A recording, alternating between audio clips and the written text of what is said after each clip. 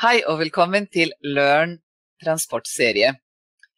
Jeg er Silvia Ceres, og gjestene mine i dag er Øyvind Sævig, som er eh, en av lederne i Startup Lab Mobility, og Olav Madland, som er gründer og daglig leder i Applied Autonomy. Velkommen begge to. Tusen takk. Eh, jeg skal si to ord om serien, og så setter vi i gang samtalen. Og dette her er en Eh, serie som fokuserer på transport og nasjonale innovasjoner, og kanskje nasjonale fordeler og fortrinn vi også har i den sektoren. Vi uh, gjør denne serien sammen, og den er uh, finansiert av regionale innovasjonsprosjekter i Oslo. Og vi gjør den da sammen med Startup Lab, med Ruter og med ITS Norway. Og de belyser med sine inviterte gjester veldig forskjellige aspekter av noe som viser seg å være både veldig teknisk innovativt, men også systemisk innovativt eh, som sektor. Og eh, i dag skal vi fokusere på autonomi i transport, tror jeg, men eh, jeg venter til Øyvind har eh, avklart det enda bedre for oss. Nå skal jeg invitere først Øyvind å veldig kort introdusere seg selv, og eh, se om han finner på enda et eh, eksentrisk hobby å legge, legge, inn. Og så er det Olav, og så skal Øyvind fortelle oss om eh, kjernen i samtalen som venter. Ja, eh, Øyvind Sæving heter jeg, og jeg er leder av Startup Lab Mobility. Og det vi gjør, er å prøve å fasilitere fram mest mulig samarbeid mellom startups og incumbents, eller etablerte selskaper, innenfor mobilitet og transportsektoren. Eh, sist gang vi snakket sammen, Silvia, så nevnte jeg vel at jeg var veldig glad i å klatre. Eh, det er en ting som kommer i tillegg til det, og eh, det er skateboard. Så jeg driver og skater en del ramp, for de som kjenner til det. Og er fortsatt si, så ung at jeg klarer å slå meg og reise meg igjen etterpå. Få se hvor lenge det varer. Du, Det er imponerende, for det klarer ikke jeg lenger. Det jeg tenkte at vi skulle ta og lupe litt inn på i dag, når vi har med oss Olav og Pride Autonomy, er eh, autonomi og, og om Norge har de forutsetningene vi trenger for å bli en autonomistormakt. Så la den henge litt i lufta. Så er det noen spørsmål tilknytta det. Og Olav, eh, hvem er du? Jo, først må jeg jo si det vanlige, kanskje. Det er at man er teknologi- optimist og har fokus på å benytte da, digitalisering da, for å oppnå bærekraftsmåla. Altså, jeg har alltid vært opptatt av bærekraft jeg, og, og, og, og berøre naturen minst mulig. Så jeg, jeg må innrømme at jeg var Alta-motstander den gangen. Og så har jeg haika etter fredsmarsjen da jeg var 16 år i Paris. Og så har jeg alltid vært interessert i, uh, kjøretøy. Da. Så, som uh, guttunge bodde jeg i Seljord, og der uh, var jeg på Dyrskuen og samla en brosjyre på traktorer og landbruksmaskiner, og systematiserte de ut fra egenskaper, energiforbruk og sånn. Og så sendte jeg som guttunge og så sendte jeg brev til bilimportørene. Og så fikk jeg brosjyrer av bilmodeller og systematiserte de på samme måte. Så, så, er jeg opptatt av nå, så jeg går jeg på rypejakt. Og så går jeg på ski og løper og sånne ting.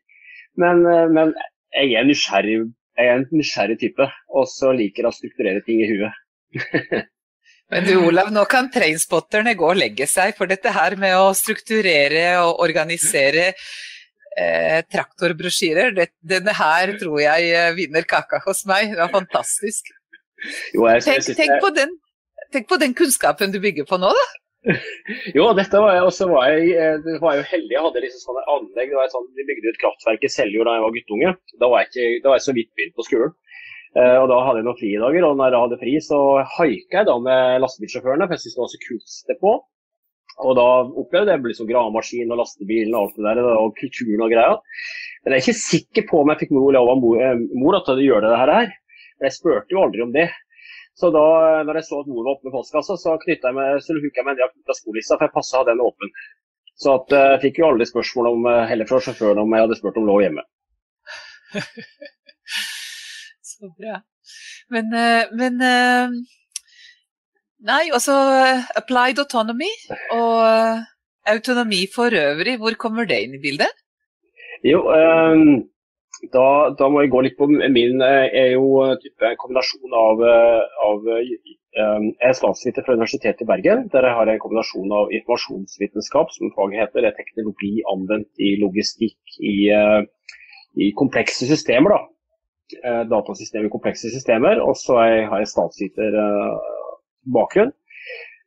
og da finansierte Telenor, en, eller Televerket som det heter den gangen, en del av studiene mine, så jeg begynte å jobbe i Televerket rett etterpå. Og der jobbet jeg mye da med teknologien for transformasjon fra NMT over til GSM, men da på støttesystemsiden, slik at de kunne ivareta Eh, salg, eh, abonnement, eh, tjenesteutvikling med avanserte tjenester, oppsalg basert på kundeanalyser. Det jobba jeg med i fram, mange år. Og, jeg, og, da er jeg på en måte gründer i et stort selskap. Uh, der. Og så jobbet jeg da også i Alcatel og, og Telia. Uh, og så er det noen år i, i SB Kort, hvor jeg jobba òg med avanserte banksystemer for kredittinnkreving. Eh, så gründa jeg et selskap i 20, 2007 eh, innenfor havneeffektivisering, havnelogistikk, IT-systemer der. Eh, det ble solgt til, det solgte vi da på Exit til Grieg-familien i Bergen, det heter nå Grieg Connect. Det har gått vokst videre og blitt en kjempebra selskap. Og etter det så tenkte jeg måtte finne et due å jobbe på. Og det var da å Jeg ble konsulent i Akando i tre år. Og da var jeg på, som en del av den jobben min der, når jeg hadde ansvar for intelligente transportsystemer, så var jeg på ITS World i Frankrike i 2015. Der så jeg disse to små selvkjørende minibussene, en fra Navia og en fra Isimar.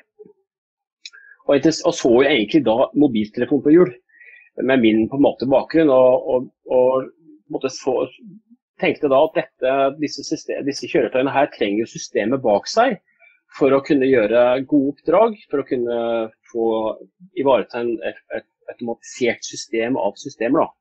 De kjøretøyene greier ikke å gjøre noe smart hvis ikke de har påkobla noe med annet. Så det, det, var min refleksjon da. Og så gjorde jeg en, eh, det som heter så med min bakgrunn med, på, på, Telekom, så gjorde jeg det som heter da, en liten uh, gjennomgang, en due diligence. Både teknisk og juridisk, og liksom idé og etiske forhold da, med de, de to eh, selskapene på, mens jeg var der. Og så inviterte jeg da den beste av de eh, da, til å komme til Norge og, og modne teknologien sammen med i økosystemet som jeg eh, var del av da i, i Akando. Og det gjorde vi sammen med flere kunder i Akando. Og så ble det etablert da, et lovverk som ble vedtatt i 2017 i Stortinget. Det var jo fantastisk, for da, det var et enstemmig storting og så ble jeg faktisk invitert den dagen til Stortinget hvor de vedtok loven. Og jeg fikk loven signert av Ketil Solvik-Olsen og Helge Orten. Så da er statsråden og leder av transportkomiteen, så jeg er nok en, en av de få som har signert lovverk. Det syns jeg er veldig kult. Og eh, når det lovverket var på plass, så så jeg det at her må vi ha et selskap som kan eh, lage disse systemene. Eh, og kan industrialisere på det. Og det var ideen da til Applied Autonomy. Jeg snakket med flere som kunne tenke seg å være med på reisen. Men jeg tenkte at Kongsberg er det ideelle stedet å etablere et sånt type selskap. Der har de kompetanse, der har de økosystem, der har de forståelse for disse tingene av system og systemer og risiko i lang, lang historie. Så da ble selskapet etablert sammen med Kongsberg Innovasjon. Eh, på eiersida. Og så kom også da Vy inn på slutten av året, og så har det utvikla seg der, derifra. Nå er vi elleve ansatte, og eh, den ellevte kom inn i dag. Og så skal vi ha en til på plass før jul, så da blir det tolv. Så det var en kort oppsummering av hvor, hvor det kom fra. Og, og ideen er, er, eh, kommer egentlig fra andre bransjer, eh, hvor vi ser at eh, systemet må samspille for at uh, det skal bli automatisert godt. Akkurat som med kredittkort. Det er ikke bare bankterminalen som du putter kortet inn i som må fungere. Det er de andre systemene, slik at du til slutt får dette belasta på kortet ditt, og at du får handla effektivt. Så, så det er min bakgrunn. Hva tenker du, Øyvind? Nei, det var jo en begivenhetsrik bakgrunn, vil jeg si. Variert. Eh, artig at man har vært med på lovverksbiten, fordi det er jo ikke helt usentralt når det kommer til eh, løsninger som f.eks. Ja, autonome løsninger. Da. Men en ting jeg har lyst til å spørre deg først, Ola. Altså, hvordan forklarer du egentlig autonomi til noen som ikke har hørt om det før? Det første jeg begynner å snakke om da, det er jo at det, kjøretøyet har sanser. Um, fordi det starter, det starter jo der uh, med autonomi at En må ha sansene på plass for å kunne bevege seg framover. Og det jeg ofte bruker da, det er å stille spørsmål om hvilke sanser bruker når du går i skauen. Eh, da bruker man ører, man bruker måte, føttene og, og, og tråkker. Litt variert avhengig av hvordan steiner og alt sånt er.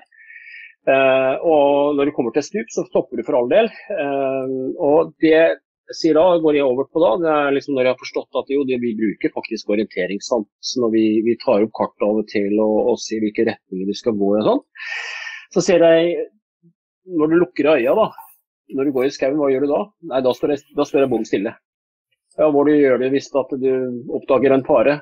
Eh, hva gjør du da? Jo, du gjemmer deg kanskje, men du prøver å på en deg sjøl minst mulig og omgivelsene. Og Det samme er med disse autonome kjøretøyene. De har sanser. Og Desto færre og De er jo nå i en fase hvor eh, både sansene, eh, sensorene, da, som er sansene sammen med eh, De har en datamaskin inni seg eh, som da tolker sanseinntrykkene. Eh, de blir eh, mer, altså Kostnadene for de dirigeres, og de blir mer avanserte da, for da viser de ulike sensorer da de har GPS på seg med ekstra korreksjon, slik at det fungerer også i byer hvor GPS-signalet kan variere. Men så i tillegg så er det noen som uh, har de en sensor som full, uh, liksom teller liksom, på en måte framdriften, hvor langt har de kommet på en, på en trasé. Og så har de uh, sensorer som ser rundt seg. Noen bruker da type flaggermussyn, som kalles LIDAR. Og så er det noen som bruker stereokameraer, som også da kan ha en annen måte å se dybde på og skille objekter fra hverandre. Og så er det disse sanseinntrykkene må man da legge, regelverk på, som er på en måte den intelligensen som ligger i hvordan vi opptrer når vi er i skogen og har erfaring. Uh, regelverket er jo da erfaringbasert. Og det er her på en måte utgangspunktet for selvkjørende kjøretøy er jo ikke det, skal ikke skje en eneste hendelse. Det skal, de skal ikke kjøre på noen. Eh, det, eh, og de skal heller ikke kjøre for fort. De skal ta hensyn til andre trafikanter. Og det regelverket det ser vi at det er eh, noen aktører som lager kjøretøy som lager veldig strengt. Da kjører kjøretøyet sakte. Det stopper for enhver hindring, og vi kan si kanskje at de er best til å stoppe. De stopper for alt. Det er som, en, eh, det er som uh, svigermor på tur, kanskje. Og så er det andre som på en måte er litt mer framoverlent og tar noen sjanser. Og det som vi jobber med, er de som Og da går det på å lytte på, på, disse tingene. fordi at kjøretøyene kommer ikke ta den type valg som vi har sett at skal jeg kjøre på den eller den. Sånn situasjon skal vi ikke komme opp i. Men det går mer på Eh, hvilke sanser tar de med, og hvilke regelverk har de, og hvilke, hvilke forutsetninger legger de til grunn når vi skal sette i gang nye traseer. Eh, har de for, ordentlig forståelse av, av, de risikoelementene som kommer inn, og hva skjer hvis det oppstår en risikoelement. Uh, det er det. Det var kanskje litt lang historie, men det er sånn jeg, sånn jeg jobber med, med, med, noen eksempler da, med, ja. med, de som lurer på det. Jeg likte den sanseanalogien ganske godt. Eh, det blir lett å forstå, lettere å forstå hva som er viktig, eh, og hvordan man tenker. det. Men hvis vi zoomer litt ut eh, Jeg er jo litt inne i den bransjen her og får med meg hvert år en rapport som slippes fra KPMG som heter Autonomous Vehicle Readiness Index. Her ser jeg at Norge sånn jevnt over figurerer som tror jeg, blant topp tre. Og det jeg lurte på er egentlig for det første, hva betyr det med sånn Autonomous Readiness Index, og, og, hvorfor er Norge så høyt oppe her? Eh, for oss først, hva betyr det? For oss som jobber med disse tingene, så betyr det veldig mye. Fordi at eh, andre land, industri, de som lager de produktene vi selv ikke har, de ser at vi har gjennomføringsevne. De ser at vi, vi, vi har både regelverk, vi har infrastruktur, vi har innovasjonsaktører og vi har brukeraksept, som gjør at her er det mulig å, å lære tidlig. Og Det betyr at uh, aktører uh, lytter til oss uh, når vi sier at vi vil gjøre prosjekter. Det gjør at vi har lettere tilgang på teknologi og lettere tilgang på kompetanse. Det gjør også at de er veldig interessante i forhold til at eh, en del av finansieringen her på disse prosjektene som vi nå kjører, er jo også EU-finansiering. Og eh, for da, disse da som evaluerer eh, norske søkere, så betyr det mye at vi ligger høyt oppe på indeksen. Så kommer spørsmålet hvordan greier vi å være der, som ikke produserer biler, for den indeksen går spesifikt på bil. Uh, og det som har uh, Jeg ble jo utrolig happy når jeg så første gangen at Norge var på indeksen. Det var i 2019. Vi var i 2018-indeksen, og i 2019 så var det liksom rett inn på tredjeplass. Det, det var en gledesdag for meg. Uh, og det som er årsaken til det, at vi kom så høyt oppe, det er at vi jobber så tverrfaglig sammen. Så Regelverksutøverne, altså de som lager regelverk og de som forvalter regelverket, offentlige innkjøpere, industri, akademia, vi jobber tverrfaglig sammen. Også, det er liksom nummer én. Altså sånn, for det du ikke kan noe om, det kan du ikke heller stille spørsmål om. Så hvis ikke vi tar inn de andre fagområdene i, i prosjektene våre som ikke vi selv styrer over, så, så leiter vi etter ting vi ikke kan noe om, og det finner vi ikke. Så da leiter vi på feil plasser. Så uh, en suksesskriterium er tverrfaglig samarbeid. En annen suksesskriterium det er jo at uh, autonom kjøretøy har ikke tro på at det er diesel og bensin. Altså, jeg har ikke sett noen uh, på det ene annet enn noen som er, på en måte bygger om noen eh, diesel- og elektriske kjøretøy. Da. Nei, diesel- og bensinkjøretøy. Det er elektrisk. Og vi har et veldig høyt fokus i Norge på at vi skal redusere avtrykket, vi skal redusere utslipp, vi skal uh, få til å, å uh, bruke autonome systemer til beste for samfunnet. Og Det gjør at vi også har en push fra myndighetene sin side. Så det er, det, er, uh, det er, grunnen til at Norge kommer så høyt opp på regelverks, infrastruktur, innovasjon og, og brukeraksept. Så kom vi langt nede på området innovasjon, for vi har få hovedkvarter som driver med teknologi i Norge målt f.eks. mot Israel, som ligger høyt oppe der, Samtidig fra USA, som ligger høyt oppe der, men vi kompenserer på andre områder. Hvilke deler, hvilke deler av autonomiverdikjeden er det du tenker at vi er representert i da? Vi er egentlig representert i, i veldig mange, bortsett fra det å skru sammen biler. Der har vi kun uh, Paxter i Norge. Vi har aktører som driver med sensorer, uh, som er på en måte sanseinnsamlingen. Vi har systemintegratorer som da som tar inn disse sansene, sansene og, og, tolker i kjøretøyet. Vi har eh, aktører som oss som på en måte lager kontrollsystemet, optimaliseringen og effektiviseringen av, av flåtene. Det har vi. Eh, vi har kunder som vil ta dette i bruk. Og vi har regelverksutøverne som, som er der. Det som ikke vi har eh, så mye som i andre land, da, hvis du tar Israel som andre ytterpunkt her, så har de enda egentlig, si, som også har fått til litt den eh, San Francisco på en måte tilnærmingen med pay it forward og kapital og kompetanse. I Norge har vi litt lett for å på en måte dra litt, alt litt utover. Så vi som jobber som aktør innenfor dette området her, jobber hver dag veldig mye med å på en måte samle de som nå vil være early adapters, som vil, sjans, som vil være inne i denne industrien. Så vi jobber veldig mye hele tida med å kartlegge aktørene for å få mest mulig kraft ut av det vi har. Eh, så håper jeg på at eh, vi skal greie å på en måte få Nå ser vi at investorer ser mot bærekraft. Jeg ser at, eh, at det ikke bare er eiendom som teller. Jeg ser at det nå er fokus på, på bærekraft inn mot bank og finans, at de skal få nye parametere inn mot det det tror jeg òg vil være en driver for at uh, vi, vi, får de riktige løsningene i, i, uh, ut, i Norge, og uh, greier å eksportere det ut. Den, den løsningen Applied Autonomy lager, og nå får du korrigere meg hvis jeg sier noe feil, men jeg har stort sett sett den figurert i, si, med kollektiv fortegn, at den brukes inn på, på busser og så lignende. Kan, kan, det dere lager også brukes inn mot bilprodusenter, hvis vi hadde hatt noen eh, som faktisk lagde kjøretøy utover Paxter her i Norge? Eller er det, noe, er det et annet system?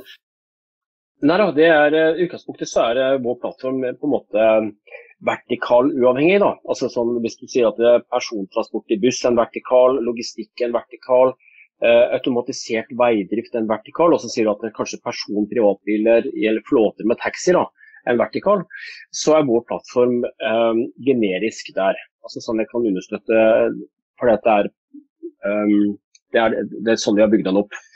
Uh, så uh, er jo kommet til spørsmålet vil vi uh, jobbe med private biler som er eid privat og som skal på en måte brukes som private biler. Det, det vil ikke være høyeste prioritet hos meg. fordi at vi har fokus på at kjøretøyene skal bli kjørt med personer om bord, med bedre utnyttelse enn det er i dag. Eh, så hvis at måte, eh, kjøretøy tusler rundt med null passasjerer fordi de ikke vil parkere på en parkeringsplass, for der koster det penger, det, den type løsninger har ikke jeg lyst til å ha på blå plattform. Det, det, er, det får andre drive med, tenker jeg da. Men det som vi vil hele tida dra i retning av, det er å, å bruke vår plattform til redusert utslipp og redusert avtrykk. Kan, kan bare skyte inn her. Jeg syns det var utrolig spennende å høre deg, Olav, på liksom, hva er Norges uh, fortrinn og hvorfor tredjeplass. Uh, men i hodet mitt uh, koker det ned til at nei, vi har ikke million innbyggerbyer, vi har masse distrikt, vi har masse geografi, vi har masse klima. Vi har kjempemye ingeniørkunst på både infrastrukturbygging, veibygging, tunnelbygging, men også på dette med rør under vann som kan være veldig relevant for alt fra hyperloop til eh, tunneler osv. Og så klarer vi å samarbeide istedenfor å konkurrere med hverandre. Og mm. det at man kan samarbeide både mellom geografisk eh, horisontale aktører, og at eh, i, i, verdikjeden at vi kan eh, samarbeide vertikalt, det syns jeg er utrolig eh, interessant sammenlignet med USA, f.eks. Men så mangler vi det elementet som du snakket om, med at uh, i USA så klarer man klarer mindre bedrifter, og der har jeg lyst til å høre Øyvind litt, grann, å komme til litt lettere til eh, store offentlige systemer med sine innovasjoner. Um, dere pusher det fra deres side i Startup Lab, eh, Øyvind. Vi pusher det fra Learn i forhold til omstilling og konkurransekraft og kunnskap og sånt. Men det er rett og slett ikke lett å selge til offentlig sektor når man er eh, liten? Nei, eh, det er jo helt sant. Og det er vel eh, si, en del regulatorisk og liksom oppkjøpsteknisk. Og så er det vel også, og i forlengelsen av det, at man kanskje ikke har disse riktige insentivene til å teste ut noe som er litt nytt og usikkert. Man blir straffet veldig hvis det ikke går så bra som man kunne håpet på. Så det er vel kanskje den største liksom, barrieren vi ser. Da. Uh, men igjen, det, det, skjer jo ganske mye spennende. Uh, og det er jo flere initiativer som prøver å uh, bridge, eller gjøre det her litt enklere. Blant annet så har DFØ et prosjekt nå som heter Startoff. Der man prøver å se om man enklere kan få inn unge selskaper til å levere løsninger for det etablerte. Ole? Jeg ser jo det at, sånn, du kan si at hvis man, hvis man bare er opptatt av økonomi, da, så det er jo her eh, det med forretningsmodeller også kommer inn. Hvis man i den fasen vi, teknologien er nå, plattformen er nå, så, jo, så kjører vi Nå har vi på Kongsberg også greid å få ta ut sjåføren og kjøre med remote kontrollsenter, men det vil jo først skalere og bli lønnsomt når, når en på remote kan styre flere kjøretøy. Så, og Det gjør at uh, i dag sparer ikke aktørene penger på å når de kjører altså de prosjektene vi har hatt, de sparer ikke penger. Men det som jeg tror er viktig med det her vi holder på med nå, det er å skape et marked. Eh, for Skaper vi ikke et marked for det, så fortsetter vi på den måten vi har i dag, med, med privatbiler som brukes lite. Eh, liksom, utnyttes lite, står i ro 95 av tiden og brukes av 1,1 person per km, så det, det er mye død kapital. Så hvis ikke vi liksom eh, har eh, finansieringsmidler for å skape marked, så, så, vi, så, får vi ikke dette til. Og Der er det at USA måtte nå går, går, foran og sier at dette må vi satse på, enda større. I Norge så er finansieringsløsningene litt eller tynne, vil jeg si. For eh, der vi får penger, er EU-finansiering. På, på, norske løsninger så er det på selskaper sånn som vi, som er også eid eh, litt av staten gjennom ulike deler, fortsatt lite selskap, og sånn, så blir vi klassifisert som eh, Så, så går støttegraden ned. Og det, det, Da er vi avhengig av spleiselag, eh, og det krever Norge. Altså, jeg er veldig fascinert av dette her, for eh, vi, vi prøver da fra Learn sin perspektiv å jobbe og levere. og Vi mener at det vi leverer trenger både offentlige og private bedrifter.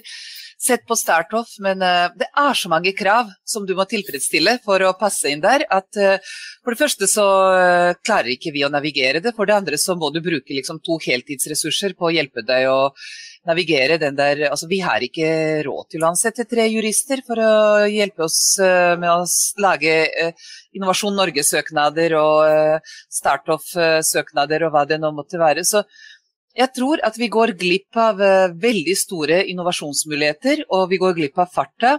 Og jeg tror at det der som Øyvind var innom også, med gi folk insentiver til å prøve noe nytt, til å gjøre ting annerledes. Og der litt den modellen som dere kjører i Startup Lab, Øyvind. Hvor man kommer med konkrete prosjekter og oppfordrer nærmest manipulerer folk inn i partnerskap. Disse power couples. Nei, men ikke sant? Og, og så ser ja, folk at det funker. Ja. Jeg tror det altså, er virkelig, virkelig viktig. For, ja. Det er, det er, kronisk vanskelig å få til eh, si, piloter og samarbeid der hvor ene parten er si, ny og kanskje til dels uprøvd.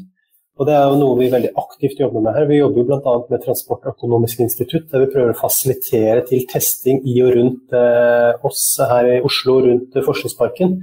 Eh, vi prøver å trekke på alle stakeholderne her, altså Oslo kommune, eh, universitetet, eh, Ferd, som nå i økende grad eh, vil ta over NRK-tomten.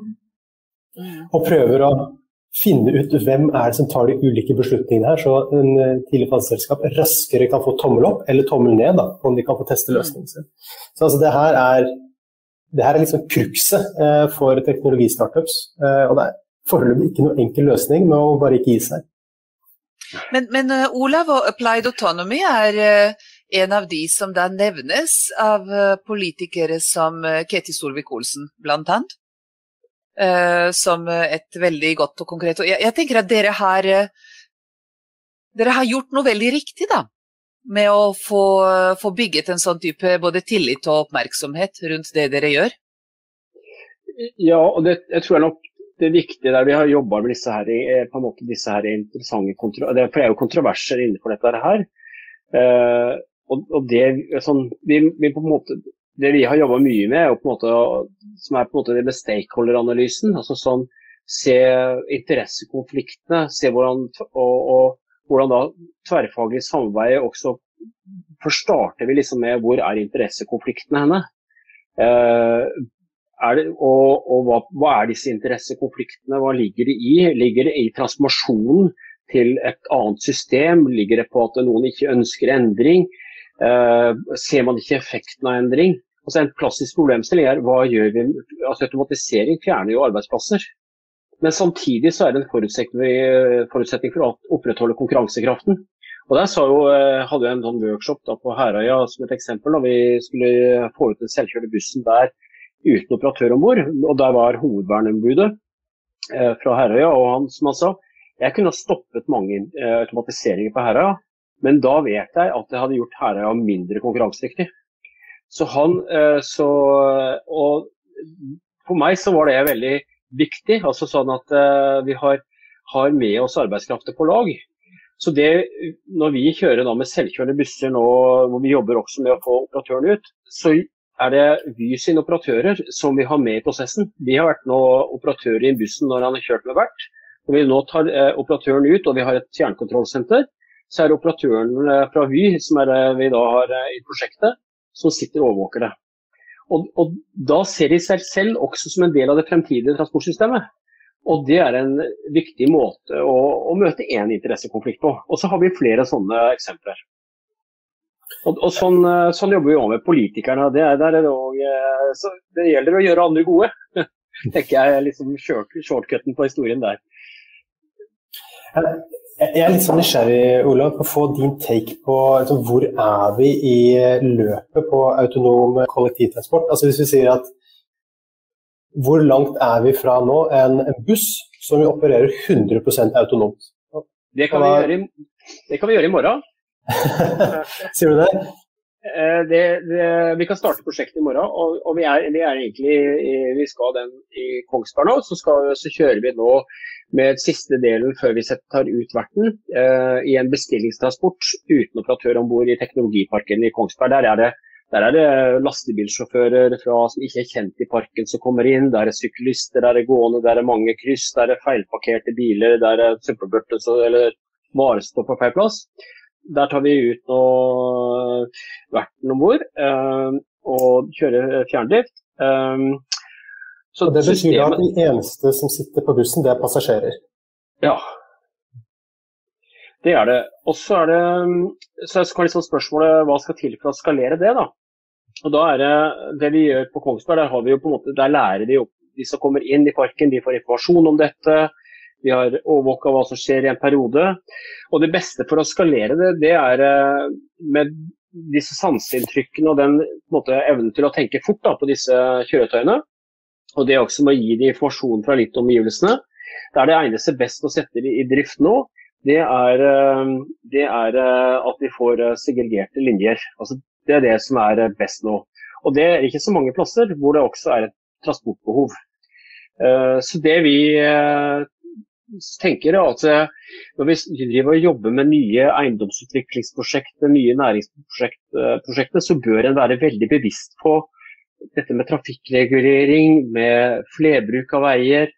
Hvilken rolle skal et, eh, et, en autonom persontransport være? Altså, vi opplever litt sånn i hverdagen nå når vi tar bussen og vi sitter i kollektivfeltet og bussen får gå treigt da, da, er liksom den der kollektivbussen litt sånn uh, lite attraktiv. Da setter man seg i privatbil neste dag. Og det, det, der, det der, går, eh, det der er direkte overførbart til et automatisert system. Vi ønsker ikke å sitte i en automatisert buss og oppleve at det er masse forsinkelser og tull og ball. Vi ønsker at det skal gå fort og effektivt og være i konkurranse med privatbilen vår.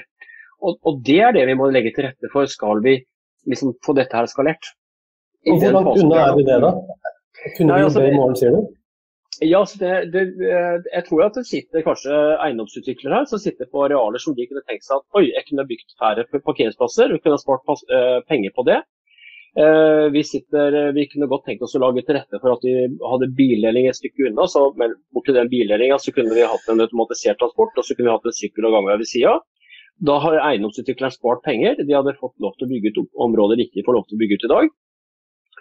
Eh, så de sitter litt sånn klare. Men når det da er en parkeringsnorm som sier at det skal være to parkeringsplasser per eh, leilighet, eller 1,6 eller hva det er, da, da er ikke reguleringa på parkeringsplassens avsnitt med det. For da, når den parkeringsplassen er tom, da, så vil jo gjerne folk ha en bil der. Den er jo tom. Så, så uh, vi vet jo det at er det lett å parkere der man bor, er det lett å parkere på jobben, så vinner privatbilen den, eh, det ser vi for Oslo, at eh, kollektivandelen i Oslo er mye høyere enn ellers av landet. Fordi at man har gjort det vanskeligere å parkere i byen, og fordi at det er vanskeligere å parkere hjemme. Og så har man et godt kollektivtilbud. Eh, det er også mulig å få på landsbygda. Nå jobber vi med et prosjekt på Norefjell hvor de ser på at jo, vi har en snarvei over fjellet som vi kunne tilrettelegge for kollektivtransport. Som da, som da bare blir dedikert for den fordi at den er i dag avlåst og ikke mulig å kjøre med privatbil. Så, så det dreier seg egentlig om å få disse fagaktørene til å jobbe sammen og se da hvor, er, hvor man også må dele litt på verdien. da. Altså Hvis eiendomsutvikleren tjener mye penger på sparing, da er det jo rett og rimelig at den er også med i forretningsmodellen på en eller annen måte, som gjør at det ikke er eh, skattepengene fra deg og meg som, som, skal betale det, og så setter eh, eiendomsutvikleren igjen med masse penger. Der, jeg, der, ser jeg at uh, daglig, administrerende på Tøy har hatt noen gode artikler i Aftenposten uh, som går på det at her må vi, her må vi trekke i samme retning. Men jeg bare lyst til å, jeg er ikke helt sikker på om jeg forsto. skjønner? Hvis man tenker at en ekspressbuss i dag, da, som går fra Kolsås, der jeg opprinnelig er fra, og til Oslo bussterminal, hvor, hvor, lenge er det til den bussen kan kjøre uten en bussjåfør, for å si det sånn? Fordi når du sier at hvis det kan skje i morgen, så måten, den, det bildet jeg har av de pilotene som kjøres av Vy, av A til B eh, det, er, det, er, en stund til de kan kjøre den strekningen med den bussen i, i den farten som, eh, som jeg, jeg, hadde forventet som eh, passasjer. Da.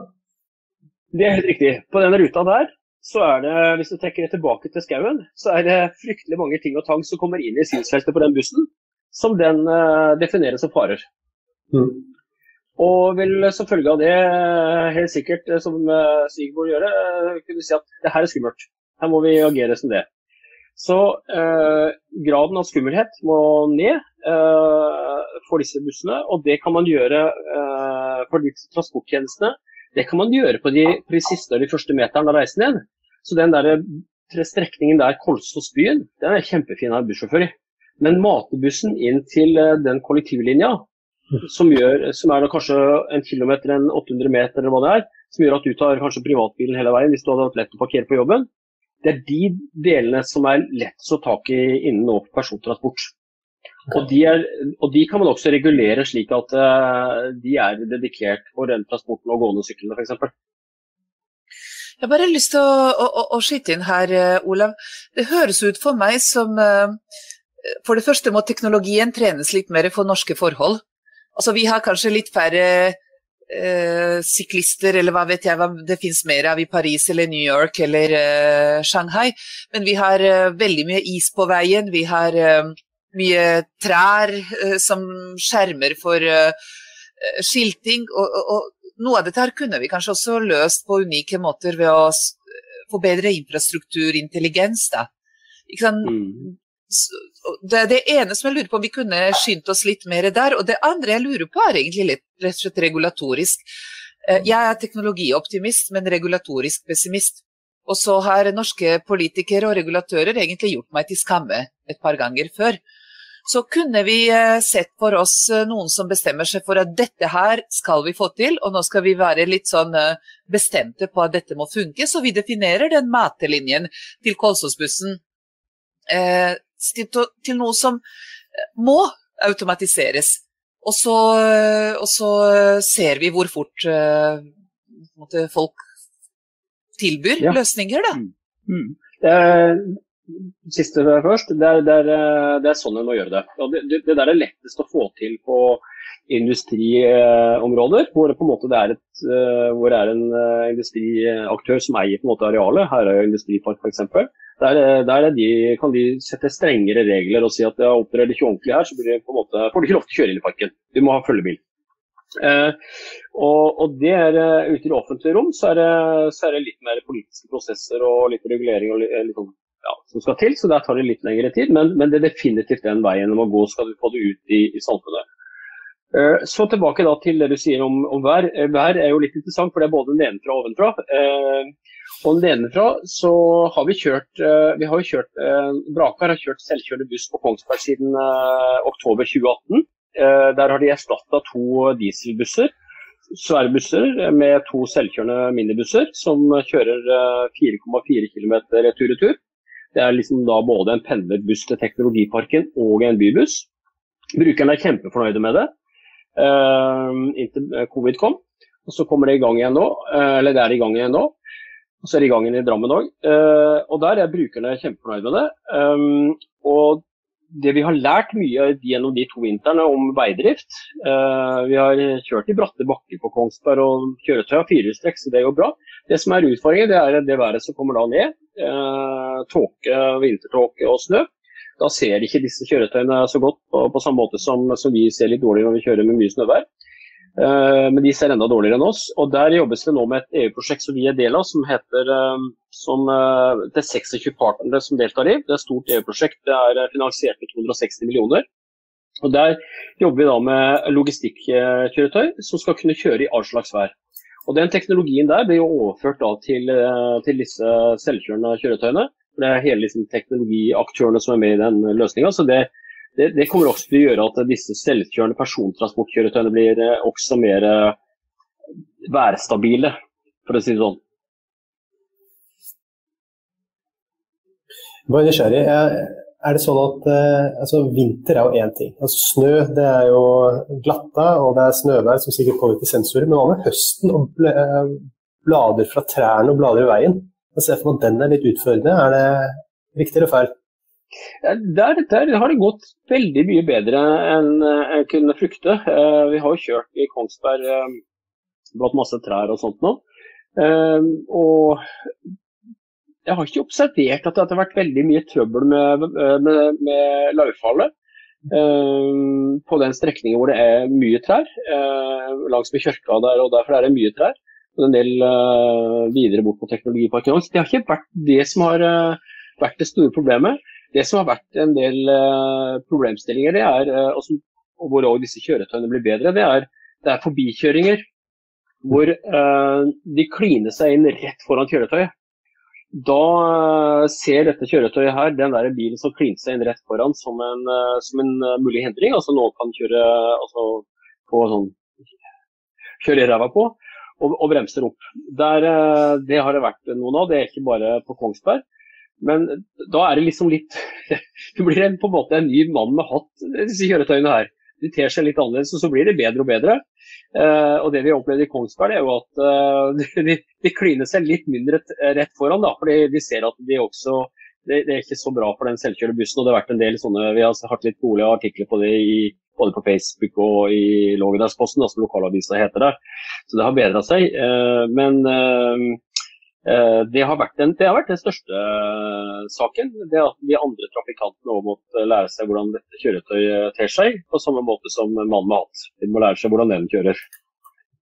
Jeg bare lurer på om det, det er utrolig spennende å høre på det, Olav. Om det kan bety at uh, våre, våre trafikkskoler, da, uh, kjøreskoler, burde lære oss litt om uh, Eh, hvordan vi forholder oss til autonome biler. Hvordan, altså vi har lært å kjøre litt mer eh, klimavennlig vi, og effektivt, ikke sant. Og nå kan vi lære å kjøre litt mer eh, sånn at vi inkluderer også selvkjørende biler i, i trafikken.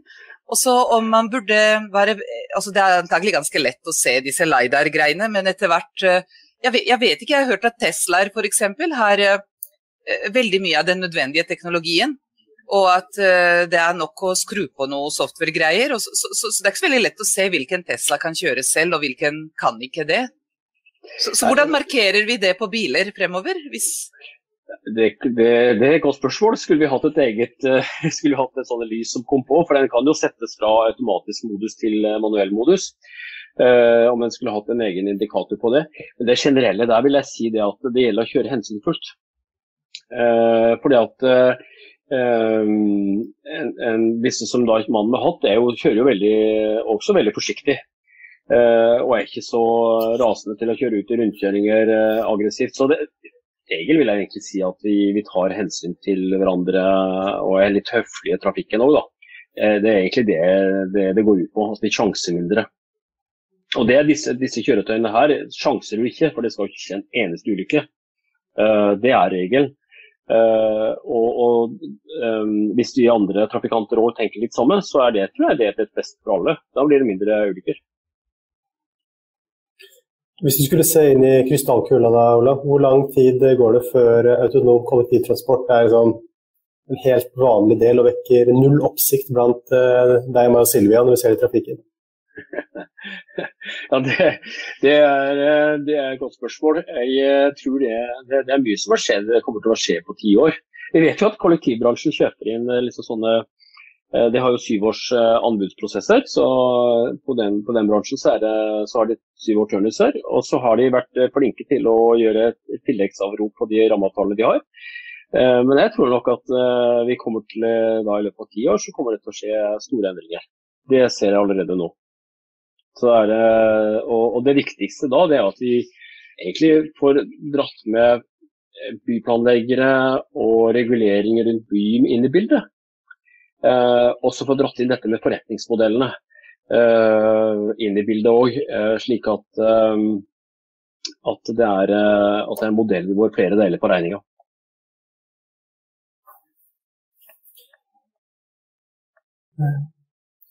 Nei, det er, det er spennende tanker. Altså, jeg er også supernysgjerrig på når uh, man egentlig setter seg ned i en bil og jobber uh, i førersetet på vei til jobb. Uh, hvis man da Nå sier jeg ikke på noen måte at man skal kjøre persontransport alene inn til jobb, men når det blir mulig.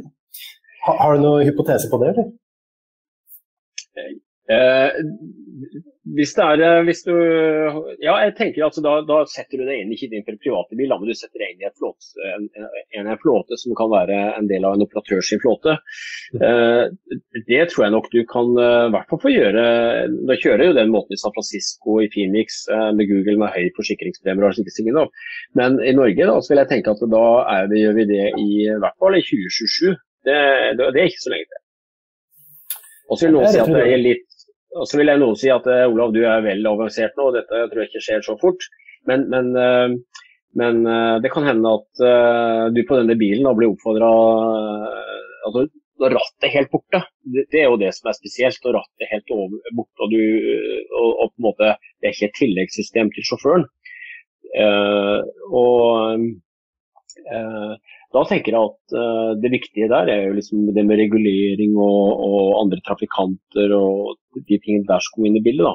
Men det, det, vi, vi, kan få det i 2027. Uh, 2027 til 2030 så kan, det, så kan det være. Og Det betyr at vi alle tre kommer til å oppleve det her. Der.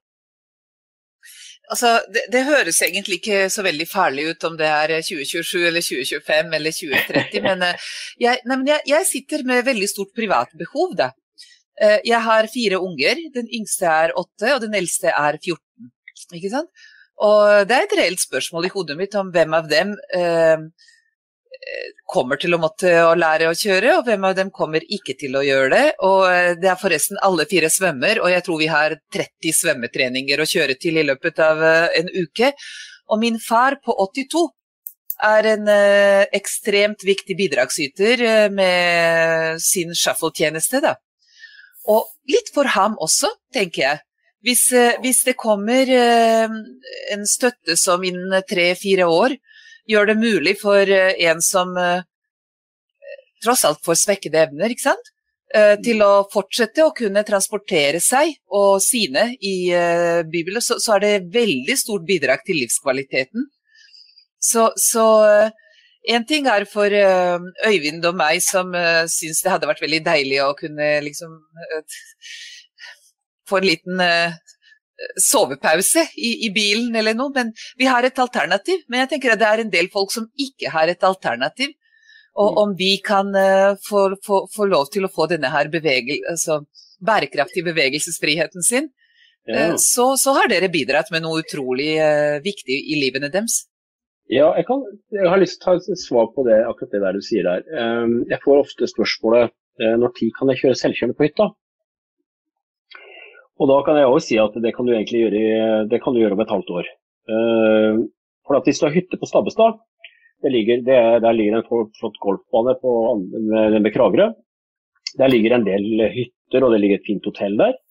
Ehm, og der, der kan du da hvis du reiser dit, så kan du ta kollektiv til Tangen. Eh, der går det ekspressbuss, flere ekspressbusser.